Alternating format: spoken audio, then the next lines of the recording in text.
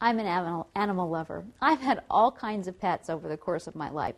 I've had cats and dogs and rabbits and gerbils, guinea pigs. I've had um, lizards. I've had iguanas. I've had a pet snake here or there. But there's one thing I've never been able to bring myself to have as a pet, and that's a tarantula. I don't know why. It just kind of creeps me out a little bit.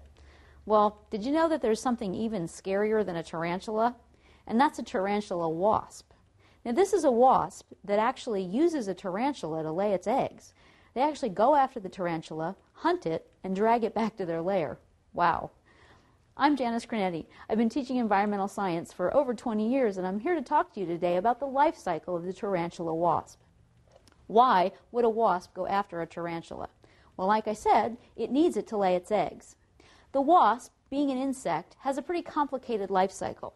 They go through something called metamorphosis. You may be familiar with this when you're talking about butterflies. So the tarantula wasp will actually go after a tarantula, drag the tarantula back to its nest, and lay one single egg on the tarantula. Now, that sounds pretty tricky to do, but these tarantula wasps are about two inches long, so they're a pretty formidable insect to be dealing with. Once they drag that tarantula back into their lair and lay the egg on it, the egg eventually hatches and becomes a larva. Now, this is when the spider, the tarantula, really comes into play because this larva is actually going to feed off of the living spider for as long as it can keep that spider alive.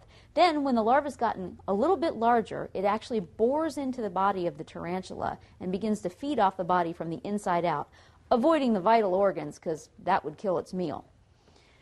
The larva is then going to hatch into a pupa and eventually hatch out as an adult tarantula wasp that's ready to go after a whole new tarantula. I'm Janice Cronetti, and this is the life cycle of a tarantula wasp.